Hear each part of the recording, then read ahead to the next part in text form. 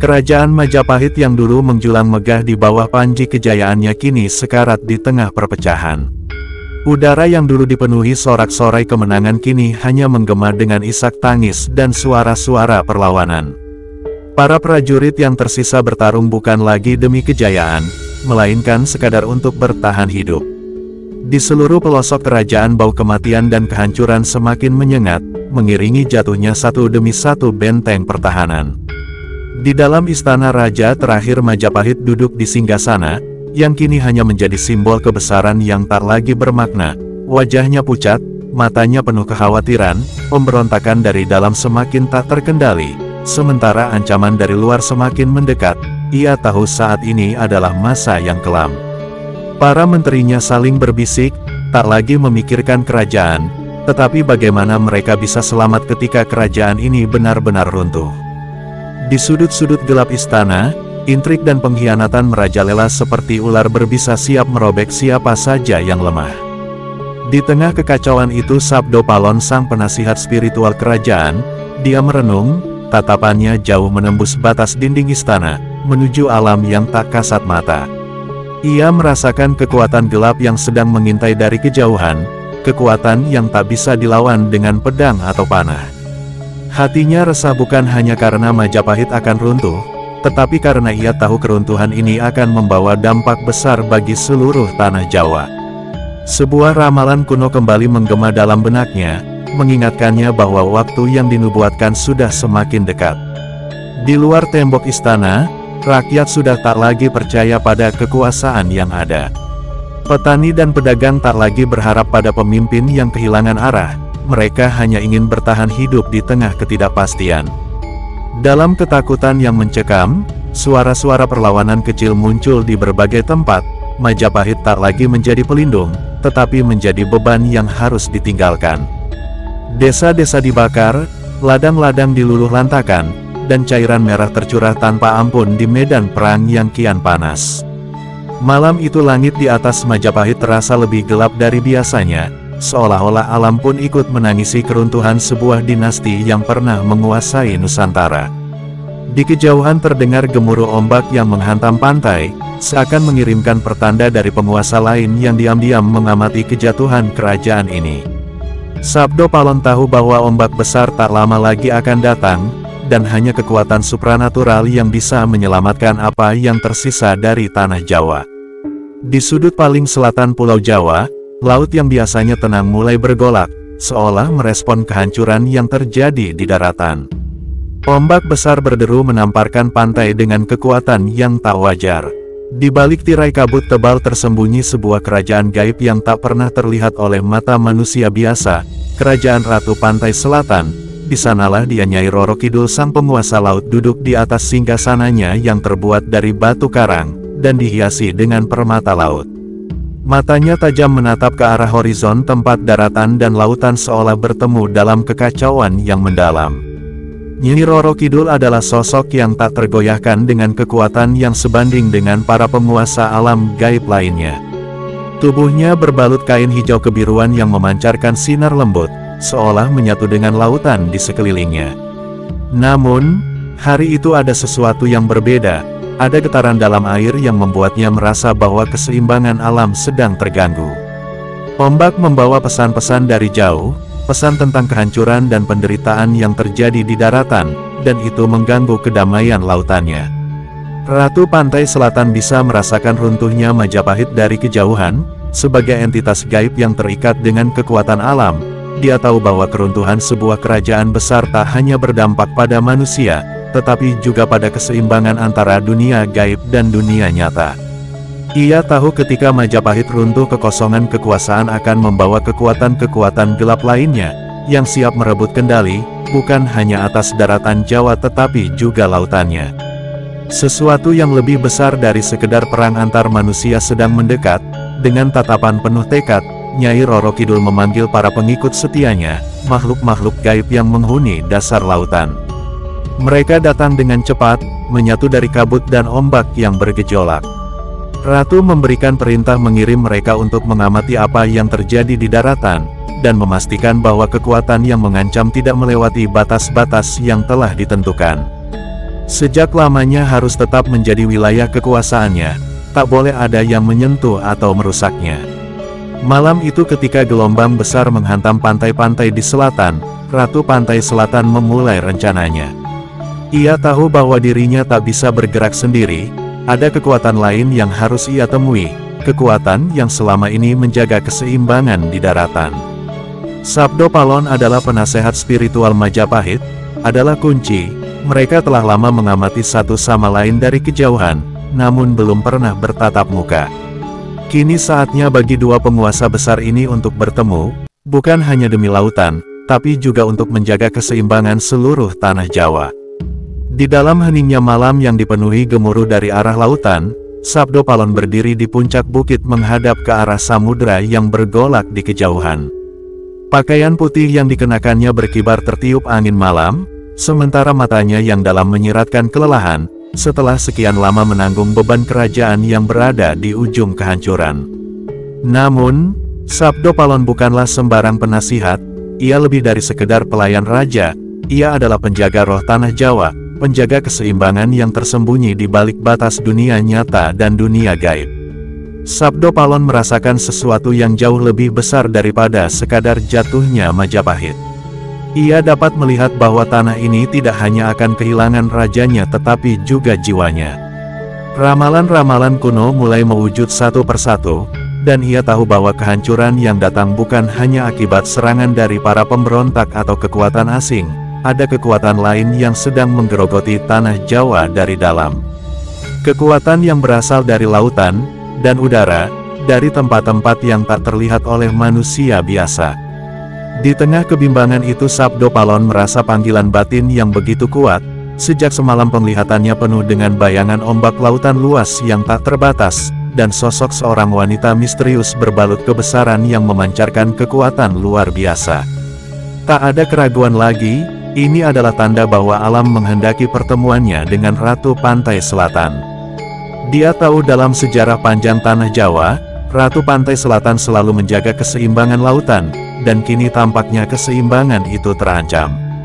Langit malam mendung, namun Sabdo Palon tak gentar, dia menutup matanya dan mulai melantunkan doa-doa kuno yang hanya diajarkan kepada mereka yang memiliki ikatan langsung dengan alam gaib. Suara angin yang mengalun menjadi lebih keras, namun di tengah deru alam Sabdo Palon mulai merasakan kehadiran sesuatu. Ombak mengirimkan pesan yang hanya bisa dipahami oleh mereka yang memiliki koneksi dengan dunia spiritual. Ratu Pantai Selatan memanggilnya, sebuah pertemuan yang sudah lama ditakdirkan akhirnya akan segera terjadi. Tanpa ragu Sabdo Palon bersiap melakukan perjalanan ke arah selatan, dia tahu bahwa ini bukan sekadar perjalanan biasa, ada lebih dari sekadar takdir Majapahit yang dipertaruhkan. Pertemuan ini akan menentukan nasib seluruh tanah Jawa dan lautan di sekitarnya. Dengan langkah mantap dia meninggalkan bukit itu siap menghadapi takdir yang telah menantinya sejak lama. Sabdo Palon merasa bahwa peranannya sebagai penjaga terakhir Majapahit baru saja dimulai. Saat Fajar belum sepenuhnya menyingsing, Sabdo Palon berdiri di tepi pantai selatan, lautan di depannya tampak gelap dan muram seolah menyimpan rahasia besar yang tak bisa ditebak. Ombak menggulung dengan liar seperti hendak menelan apa saja yang berada di dekatnya, tapi Sabdo Palon tak gentar, dia tahu panggilan ini datang dari kekuatan yang tak bisa diabaikan. Wangsit yang diterimanya malam sebelumnya begitu jelas, membisikkan ancaman yang datang dari lautan. Kekuatan yang lebih besar dari manusia sedang bangkit, dan hanya mereka yang terhubung dengan dunia mistis yang bisa mendengarnya. Angin kencang tiba-tiba bertiup, membawa aroma garam dan bau basah dari ombak yang terus menghantam karang. Sabdo Palon memejamkan mata merasakan setiap detak alam di sekelilingnya. Di balik suara gemuruh ombak dan deru angin, ia mendengar bisikan gaib sebuah pesan yang datang dari kedalaman lautan. Pesan itu tak berbentuk kata-kata, tapi simbol-simbol mistis yang hanya bisa dimengerti oleh mereka yang memiliki pengetahuan kuno. Sabdo Palon tahu, ini adalah panggilan dari Ratu Pantai Selatan, peringatan akan bahaya yang mengintai tanah Jawa dari arah lautan. Tiba-tiba ombak besar menghantam pantai dengan keras jauh lebih kuat dari yang biasa terjadi. Air laut menyapu pasir hingga ke kakinya dingin dan menekan seolah memintanya untuk segera bertindak. Ini bukan hanya gejala alam biasa, ini adalah peringatan yang semakin liar. Ia tahu ancaman yang dilihatnya dalam penglihatan sedang bergerak menuju tanah Jawa, dan ini bukan sekadar masalah manusia atau kerajaan. Ini adalah masalah alam, di mana keseimbangan antara darat dan laut sedang terganggu. Tanpa membuang waktu, Sabdo Palon memulai ritual kuno untuk berkomunikasi dengan penguasa lautan. Tubuhnya bergerak perlahan seiring dengan mantra yang ia lantunkan dengan lembut, kabut tipis mulai turun dari arah lautan, menyelimuti pantai dalam keheningan yang aneh. Di tengah kabut itulah sosok Ratu Pantai Selatan mulai terlihat, Nyai Roro Kidul muncul dengan anggun dari balik ombak, memancarkan aura yang tak bisa diabaikan. Matanya berkilau penuh kekuatan dan kebijaksanaan yang sudah ribuan tahun ada. Sabdo Palon, suaranya bergema seolah berasal dari kedalaman samudra itu sendiri. Keseimbangan di tanah Jawa telah terganggu, kehancuran Majapahit adalah awal dari sesuatu yang lebih besar, kekuatan dari luar akan datang, bukan hanya untuk merebut daratan, tapi juga untuk memusnahkan segalanya. Sabdo Palon mengangguk, memahami sepenuhnya peringatan ini. Keduanya, penguasa laut dan penasihat spiritual daratan harus bersatu untuk menghentikan ancaman yang sedang mendekat. Di istananya yang terletak jauh di dasar lautan, Ratu Pantai Selatan duduk di atas singgasananya dikelilingi oleh para makhluk gaib yang setia, dari balik permata laut yang menghiasi dinding-dinding istananya, ia dapat melihat kekacauan yang melanda daratan Jawa. Runtuhnya Majapahit bukan sekadar kejatuhan sebuah kerajaan, melainkan goncangan besar yang mengancam keseimbangan antara dunia manusia dan dunia gaib. Ratu Pantai Selatan tahu, ini adalah saatnya untuk bertindak, atau semuanya akan terlambat. Nyi Roro Kidul menutup matanya menghubungkan kesadarannya dengan lautan luas. Dari ombak yang bergejolak dia menangkap pesan-pesan dari makhluk-makhluk bawah laut dari pasukan gaibnya yang setia mengawasi gerakan di daratan. Mereka melaporkan pemberontakan yang semakin meluas, serta ancaman dari luar yang mengincar tanah Jawa. Di balik semua itu, Ratu Pantai Selatan bisa merasakan kekuatan gelap yang bergerak, kekuatan yang lahir dari ketidakstabilan, ini kekuatan yang siap menghancurkan semua yang pernah ia jaga selama berabad-abad. Dengan suara yang tenang tapi penuh kewibawaan, Ratu Pantai Selatan mulai memerintahkan para panglima gaibnya. Panggil seluruh kekuatan yang kita miliki, kita tidak bisa menunggu lebih lama lagi, jika tanah Jawa runtuh lautan pun akan terguncang. Aku tidak akan membiarkan itu terjadi. Para panglima gaib segera bergerak menyebar ke seluruh sudut lautan, untuk memanggil bala tentara gaib yang selama ini tersembunyi di kedalaman laut. Nyai Roro Kidul tahu, ini bukan hanya tentang menjaga kekuasaannya, tapi tentang mempertahankan keseimbangan dunia. Di tengah persiapan yang sedang berjalan, Ratu Pantai Selatan kembali merenungkan pertemuannya dengan Sabdo Palon. Dia tahu bahwa penasihat spiritual itu adalah kunci dalam menjaga keseimbangan antara dunia manusia dan gaib. Namun, waktu semakin mendesak dan tidak semua kekuatan bisa dihadapi dengan kekuatan supranatural semata. Ratu Pantai Selatan harus memastikan bahwa mereka yang ada di daratan juga siap menghadapi ancaman ini. Majapahit mungkin sudah diambang keruntuhan, tapi tanah Jawa harus tetap dipertahankan. Malam semakin larut, tetapi istana di bawah laut itu penuh dengan aktivitas, makhluk-makhluk gaib dari segala penjuru datang siap untuk melaksanakan perintah ratu mereka. Ombak semakin besar, seolah menggemakan kekuatan yang sedang dikumpulkan di bawah permukaannya. Rencana telah disusun, dan saatnya sudah dekat, Ratu Pantai Selatan berdiri dari singgasananya menatap jauh ke arah daratan yang hanya bisa dilihatnya melalui kekuatan gaibnya. Sabdo Palon bersiaplah, bisiknya, perang besar akan segera dimulai. Di tengah hutan yang gelap dan lebat asap tipis membumbung dari desa-desa yang dilalap api. Majapahit, kerajaan yang dulu berjaya kini hanya tinggal bayang-bayang dari kejayaannya. Pemberontakan, pengkhianatan, dan ketamakan, telah meruntuhkan tatanan yang dulu kokoh. Di ibu kota, istana yang megah kini dipenuhi ketegangan, para bangsawan yang dulu setia mulai beralih kesetiaan, atau berkhianat demi menyelamatkan diri mereka sendiri dari kehancuran yang tampak tak terhindarkan. Raja Majapahit duduk di singgasananya, namun tahtanya kini terasa hampa, wajahnya yang dulu penuh wibawa, kini dipenuhi kegelisahan. Tatapannya kosong menatap para penasihatnya yang saling bertikai, mencoba mengajukan solusi-solusi yang tak pernah membawa hasil. Para pasukan kerajaan yang tersisa berusaha mempertahankan tembok-tembok kota dari serangan para pemberontak, tetapi kekuatan mereka kian menipis. Di luar sana, ancaman tidak hanya datang dari pemberontakan di dalam negeri, tetapi juga dari kekuatan asing yang menunggu saat yang tepat untuk menyerang. Sabdo Palon yang selama ini setia berada di sisi raja menyaksikan dengan hati yang berat. Ia tahu bahwa ini adalah saat-saat terakhir Majapahit, takdir telah bergerak dan tak ada kekuatan manusia yang bisa menghentikannya. Namun, Sabdo Palon bukanlah orang yang akan duduk dan menyaksikan kehancuran tanpa bertindak. Di balik semua ini dia telah merencanakan sesuatu yang lebih besar, bukan untuk menyelamatkan Majapahit, tetapi untuk melindungi tanah Jawa itu sendiri. Di antara kekacauan yang terjadi, Sabdo Palon merasakan kegelisahan lain yang lebih besar, sebuah ancaman yang tidak berasal dari manusia, melainkan dari kekuatan gaib yang mendekat. Seperti yang telah diramalkan oleh Ratu Pantai Selatan, kehancuran Majapahit membuka celah bagi kekuatan gelap untuk menyerang, mengincar kekosongan yang ditinggalkan oleh kerajaan besar itu. Para penghuni gaib dari tempat-tempat yang terlupakan mulai bergerak, merayap dari sudut-sudut gelap dunia, siap mengambil alih tanah yang sedang hancur ini. Sabdo Palon tahu tanpa tindakan yang tepat kehancuran Majapahit hanya akan menjadi awal dari kehancuran yang lebih besar, dia harus bertindak cepat, dengan penuh tekad ia mulai memanggil kekuatan supranatural yang selama ini disimpannya.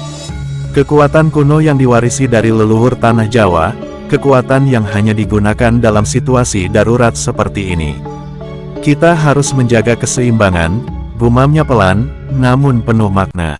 Di luar tembok-tembok kota, ia bisa merasakan pergerakan gaib yang semakin mendekat, sementara pertempuran di darat semakin intens.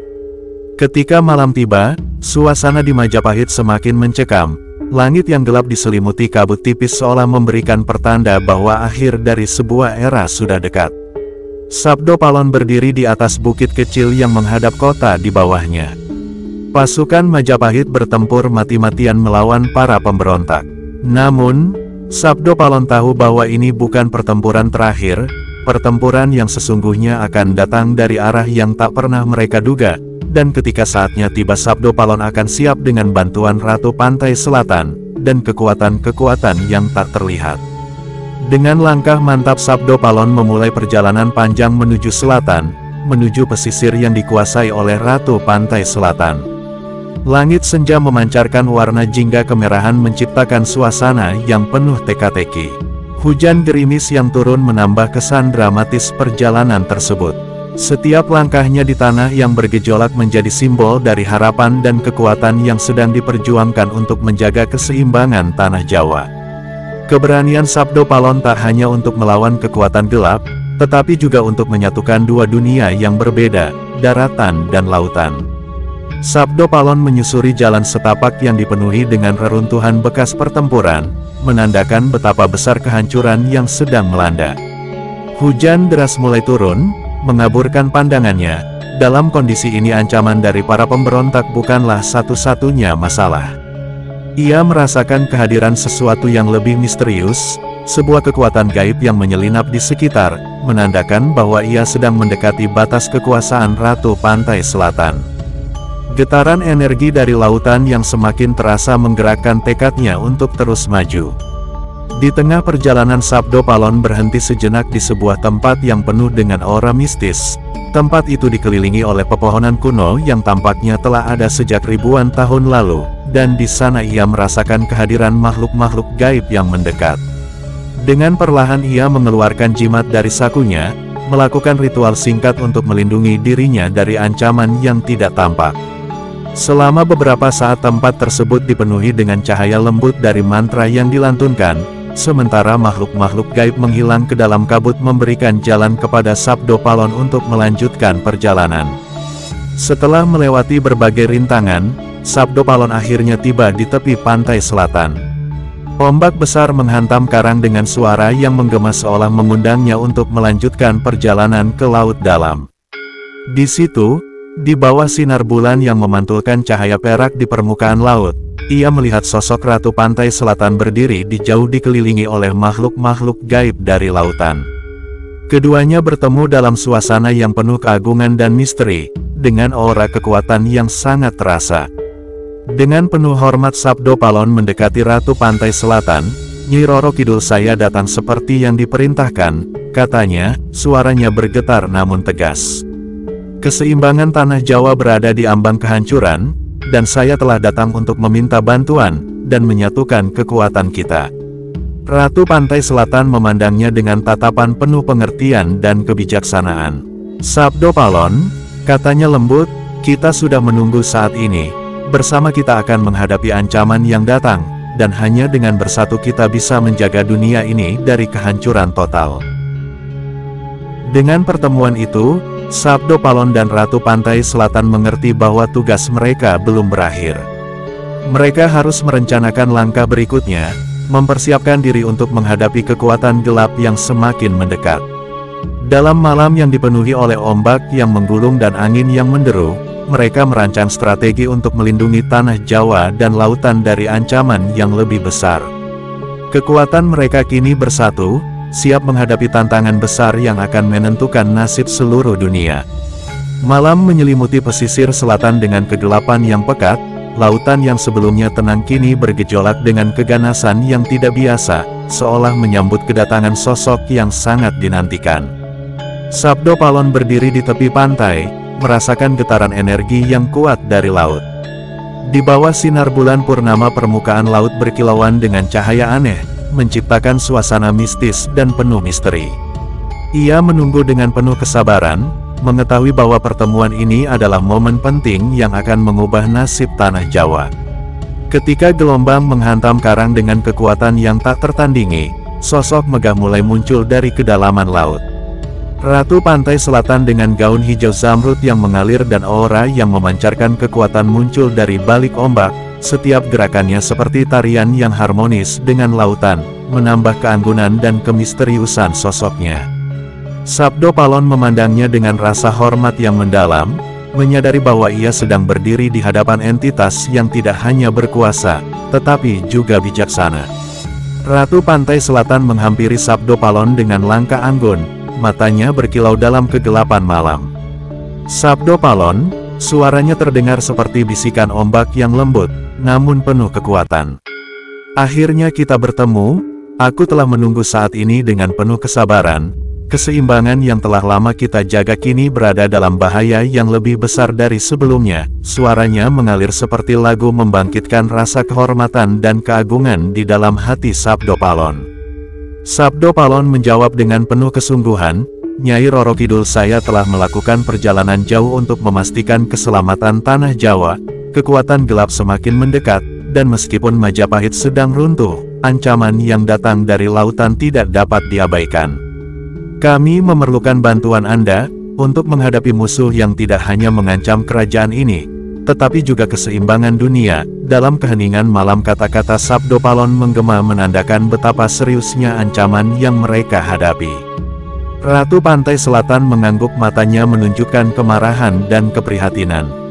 Kekuatan gelap yang kamu maksud bukanlah ancaman biasa, mereka adalah entitas yang telah lama tertidur di kedalaman menunggu saat yang tepat untuk bangkit dan menguasai.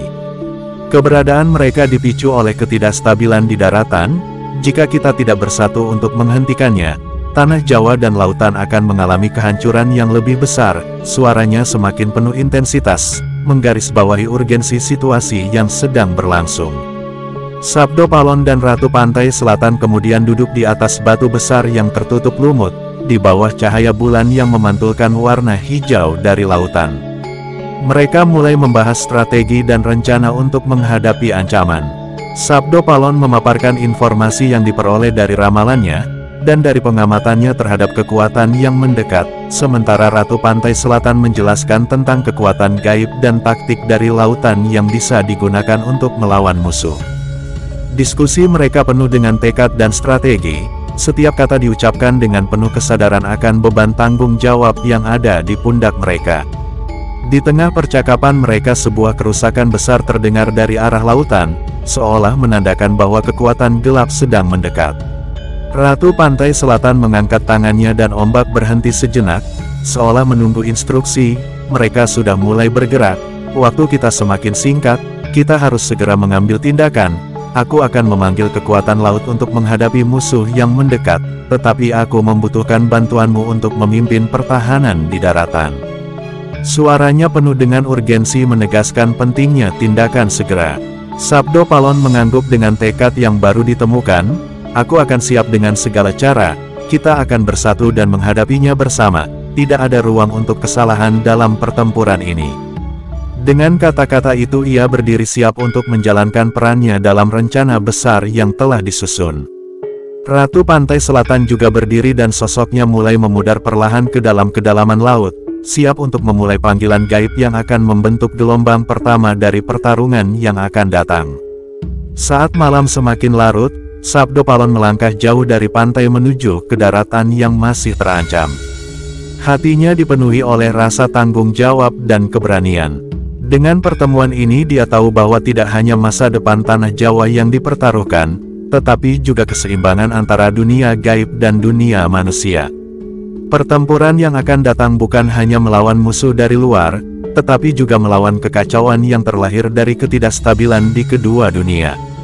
Malam itu bulan mengambang di langit dengan sinar pucat, menerangi permukaan laut yang tampak bergelora dengan suasana yang mencekam. Sabdo Palon berdiri di tepi pantai, matanya menatap gelombang yang terus menggulung dan menghantam karang. Cuaca yang tidak biasa dan ombak yang semakin mengganas adalah tanda-tanda bahwa sesuatu yang besar sedang terjadi. Dalam kesunyian malam ia merasakan kehadiran kekuatan yang menyelimuti lautan, membawa pesan dari Ratu Pantai Selatan. Gelombang tiba-tiba membesar dan membentuk pusaran yang mengarah langsung ke pantai, mengangkat air laut setinggi mungkin, suara gemuruhnya menggema hingga ke seluruh penjuru, seolah mengundang seluruh dunia untuk memperhatikan. Dari pusaran tersebut sebuah suara yang dalam dan bergema mulai terdengar, seperti bisikan dari dalam laut yang penuh dengan kekuatan.